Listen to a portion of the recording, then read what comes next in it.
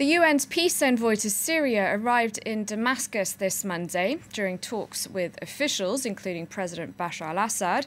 Staffan de Mistura is expected to bring up the regime's use of barrel bombs. His visit is due to last three days, and it comes soon after Turkey let refugees fleeing the fighting in Tal Abyad cross the border.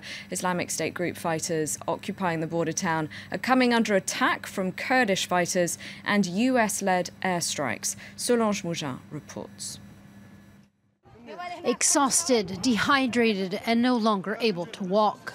After days spent under scorching temperatures, these Syrians are finally able to cross the border into Turkey. Blocked on the Syrian side since Ankara gave the order last Wednesday to close the crossing, these Syrians were stuck here.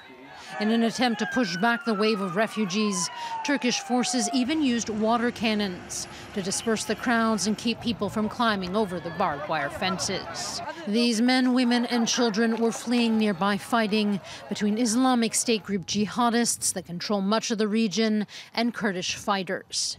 Backed by the U.S. led airstrikes, the Kurdish militia managed to close in on the town of Tal Abyad, a strategic point of entry for fighters, weapons, and supplies for the Islamic State group.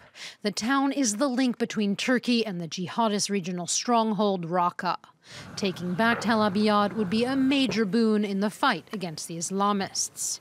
But at the same time, Turkey is wary of the gains made by the Kurdish militia. President Recep Tayyip Erdogan said the Kurds could become a future threat for Turkey, claiming the fighters were turning their guns on local citizens, something the Kurds have strongly denied as they continue to chip away at the Islamic State group's territory.